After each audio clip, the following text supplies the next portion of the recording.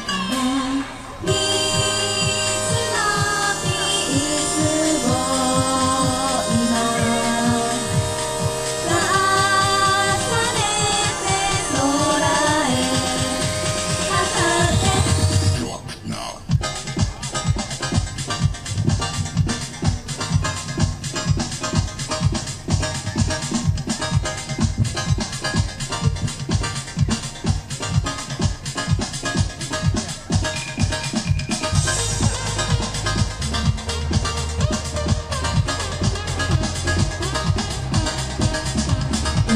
げのわけない日は闇に散らすことがないつでもできたらそれでも進まない何を探す今の自分が見極せなくていいのに